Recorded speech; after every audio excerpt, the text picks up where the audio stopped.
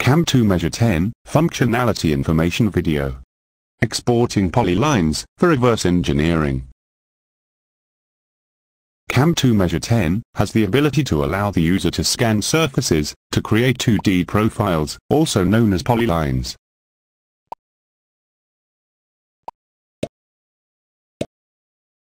In this example, we will scan a polyline group, which is parallel to a reference plane, that we have measured.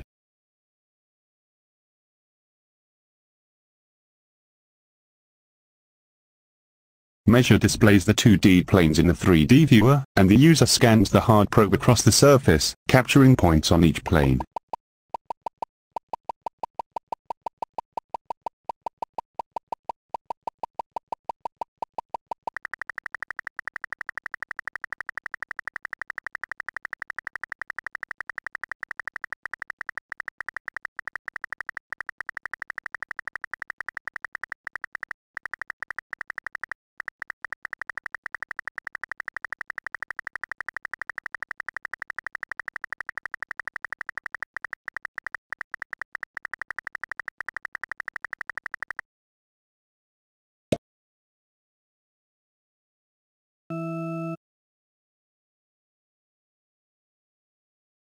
Once scanning is complete, a polyline is created for each plane, only using points that were captured on that plane.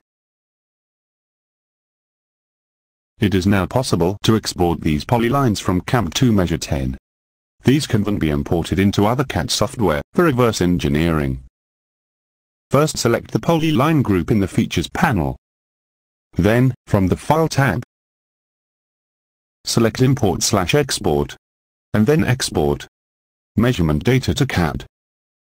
The Export CAD wizard is shown, and the user selects the features from the left-hand pane, using the arrow buttons, and moves them to the right-hand pane.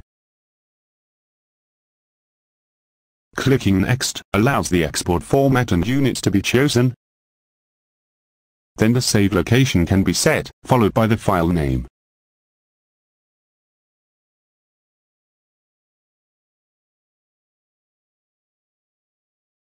The export operation is started when finish is selected. The exported file can easily be imported into a CAD software. In this example, we will demonstrate this using Rhinoceros 4.0. The file is loaded using the import option.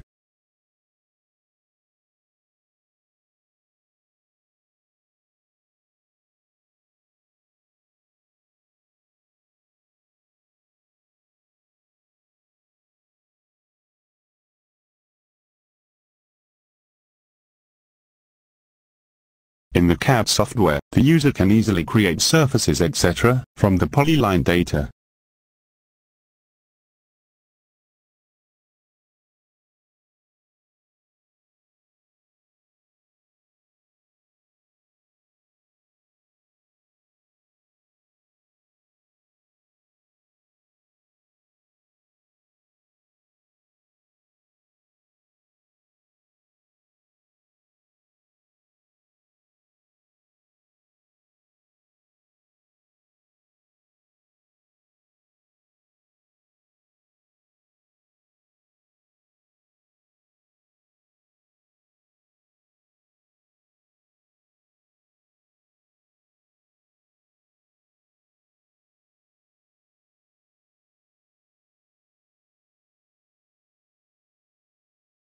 That concludes this information video, thanks for watching.